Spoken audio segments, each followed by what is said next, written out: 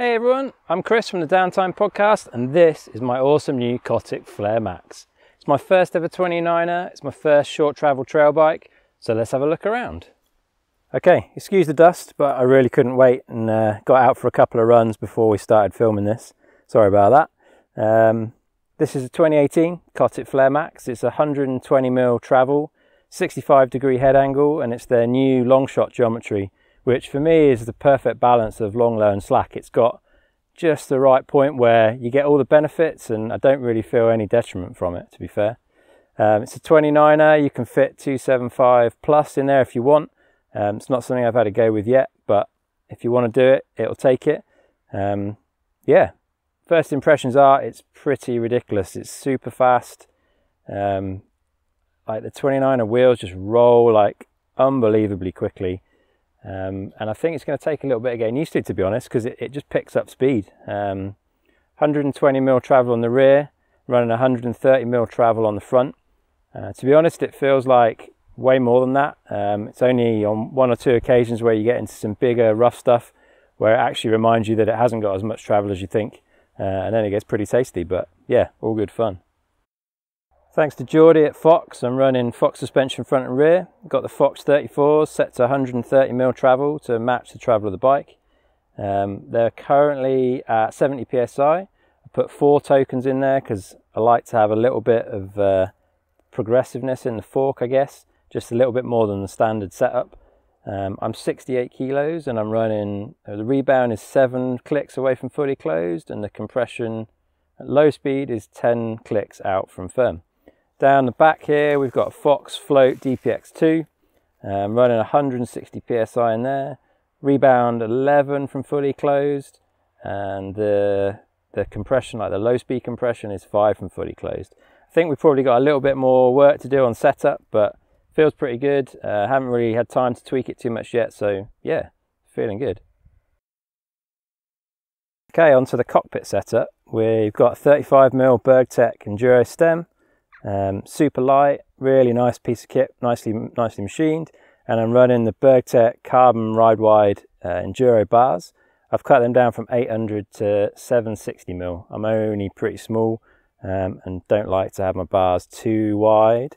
Um, but yeah, they feel real good at that. Uh, quite stiff, but also quite quiet when you're riding, which is nice. Um, I've got the Hope Tech 3 E4 brakes on there. Again, first time I've used those, been on Shimano brakes for a while, nice to be back on Hope. Uh, super progressive, loads of feel, um, not too snappy, and yeah, so far impressed with those. And I'm running the 180mm rotors there, uh, which seems to be enough for most of the riding that, that I do. And then grips wise, I'm running death grips, same as I had on my old bike, but these are the new softer compound. Um, also they're the thin ones, again pretty small hands, so they tend to work best for me think they might get pretty dirty, but kind of like the colour, so it's all good. And then for my other contact point, I'm running Burgtec Penthouse Flats in a pretty snazzy orange colour. Um, first time on the Penthouse Flats, so far so good. I'm running them with 510 shoes, uh, super grippy, haven't had any issues with losing my foot. Um, and also they're a little bit slimmer than the DMR Volts that I had before. So yeah, feel like I'm like clipping less roots and, uh, and exposed uh, bits of the trail. So yeah, happy with those so far. We got a SRAM Eagle group set, just the basic GX, uh, nothing too fancy. Sort of stuff that gets worn out and gets broken quite a lot, and don't want to be forking out loads of money to replace stuff. Um, so yeah, pretty simple on the group set. And then one of the nice touches on this Flare Max build, um, they come with these little OneUp Components chain guides, and it uh, fits onto the shock pivot. So yeah, pretty cool. Saddle is a WTB Volt, um, pretty comfy so far. I haven't done any really long rides on it, but it's got a nice amount of compliance, not too heavy, uh, so pretty impressed with that. And that's combined with a Fusion Manic dropper post. Can't get the post down quite as far as I'd like, so I might get a post with a bit of a shorter, uh, shorter length so that I can just get that saddle a little bit lower. Um, but yeah, feels pretty good. Really like the X Fusion um, remote. It's super adjustable. You can basically get it wherever you want um, and that makes life real handy. Pretty unusual right now, but not a lot of mud in the UK, plenty of dust. Um, but I have got this short Mudhugger guard on. they do some real nice stickers, so actually be able to match the colours in pretty nice with this build. I think that looks pretty good, and if it does get wet, then at least it keeps the rubbish out of my eyes. Uh, so yeah, happy with that. Tyres wise, running Maxxis on the front. I've got a Minion DHF. Uh, it's the DH casing, 2.5. First time I've run this tyre, and I've got to say, uh, I'm impressed so far. It's nice, soft compound, but actually rolls pretty well. Uh, it's fairly heavy, I guess, especially in 29, but worth it for the, the additional protection. Uh, and then on the back, I've got the Maxxis Aggressor. So summer at the minute here, it's not too wet. It's got a bit of grip there, but reasonably low profile, rolls pretty well. Uh, that's in the double down casing and it's the 2.3 width. Kogel bearings uh, support the YT mob, so if it's good enough for Aaron Gwin, it's good enough for me. They've sorted me out with some of these snazzy SRAM jockey wheels uh, with ceramic bearings and little gold uh, centers there, which is super nice. And they've also sorted me out this rather snazzy gold bottom bracket. Ceramic bearings, uh, super lightweight, fits really nicely and runs super smooth. So yeah, happy with that. Let's see uh, see what the durability is like, but it should be pretty good. Then we've got to talk about these wheels. They're pretty special. So these are from We Are One Composites, based in Kamloops in Canada, run by a guy called Dustin Adams, who's an ex-racer himself.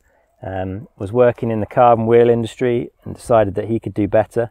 Um, so yeah, he's building these wheels in Kamloops in Canada, which is amazing. The finish is insane. Like they're so beautiful.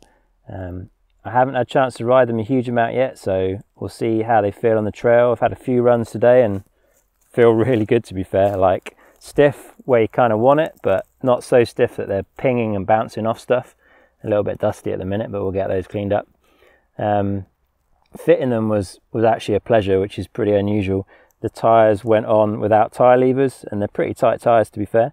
Um, and also they went up first time tubeless with just a track pump. Didn't even need to remove the valve cores. And that's the first time that's ever happened. Uh, I know they claim that on their website, but I guess I was fairly skeptical. But yeah, fair play. It went up first time.